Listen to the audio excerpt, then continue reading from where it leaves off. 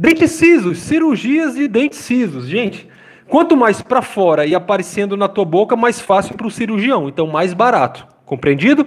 De modo que, no sentido reverso, quanto mais para dentro do osso, quanto mais interno, aqui embaixo para dentro e aqui em cima para cima, é mais difícil para o cirurgião para tirar aquele dente ciso.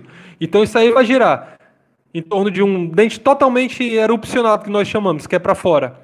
200 reais, 250, tá? E um dente ciso totalmente incluso lá para dentro mesmo, com aquela dificuldade enorme, vai girar em torno aí de 800 mil reais um dente. Ai, mas meu Deus do céu, é mimimi, lá vem mimimi, lá vem mimimi, ai meu Deus, lá vem mimimi, lá vem mimimi. Só um dente, mil reais. Só um dente, mil reais.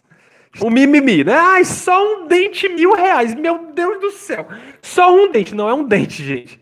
É uma cirurgia para aquele dente que está lá no oco do Runca, está lá no horizonte azul, para o profissional poder chegar. Está lá, em, lá dentro, perto do nervo alveolar inferior. Veja a seriedade disso. Se nós fizermos aí por qualquer 100 reais uma cirurgia dessa, fora a desvalorização da nossa própria área, se eu lesar o nervo alveolar inferior, que é o nervo principal aqui que passa na mandíbula, tá bom? No canal mandibular, é, se eu lesar esse nervo, você, você perde a sensibilidade aqui desses dentes todos. E aí você vai me processar. Valeu a pena? Não.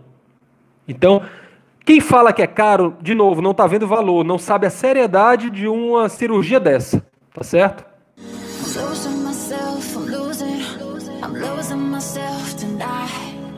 Losing